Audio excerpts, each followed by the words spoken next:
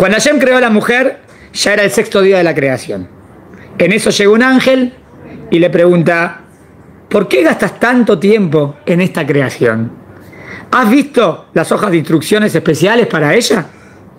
Según las especificaciones, ella tiene que ser lavable, pero sin ser de plástico. Tiene que funcionar aunque sea con agua y sobrantes de comidas anteriores. Tiene que poseer un beso que pueda curar cualquier cosa, desde una rodilla raspada hasta un corazón roto. Tener un regazo que pueda acomodar a cuatro niños a la vez, y todo esto lo hará solamente con dos delicadas manos. El ángel se maravilló de los requisitos. solamente dos manos, imposible. Y este es el solo, eh, y este es solo el modelo estándar. Le pregunta, es demasiado trabajo para un día. Espera mañana y la terminas mañana. No, estoy tan cerca de terminarla y se ha metido tan dentro de mi corazón. Ella se cura solo cuando está enferma y puede trabajar días de 18 horas si su familia lo necesita.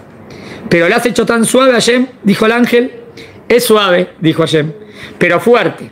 No tiene idea, no tienes idea de qué es capaz de lograr o de qué es capaz de aguantar. ¿Será capaz de pensar? Dijo el ángel. Hashem contestó, no solamente será capaz de pensar, sino también de razonar y negociar.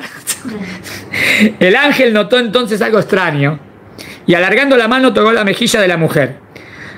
Hashem parece que este modelo tiene una fuga. Te dije que estabas tratando de poner demasiadas cosas en ella. Esto no es una fuga, le dice. Es una lágrima, lo corrigió el Señor. Hashem.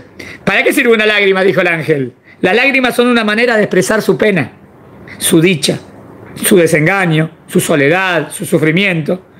Esto impresionó al malaj. Señor, la mujer es verdaderamente maravillosa.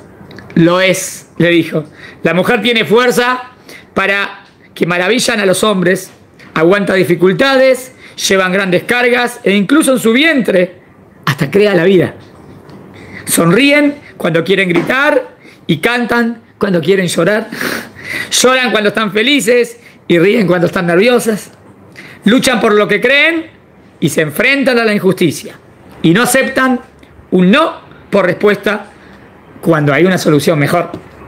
Se privan para que su familia pueda tener, aman incondicionalmente, lloran cuando sus hijos triunfan, su corazón se rompe cuando muere una amiga y sufren con la pérdida de un ser querido, sin embargo son fuertes cuando piensan que ya no hay más fuerza.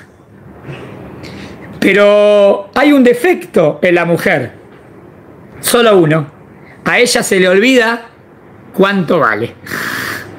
Y nada, el motivo de, cómo, cómo, define a la mujer, o define a la madre, o define todas las cosas grandiosas que, que una mujer puede hacer, que a veces los hombres no pueden para nada.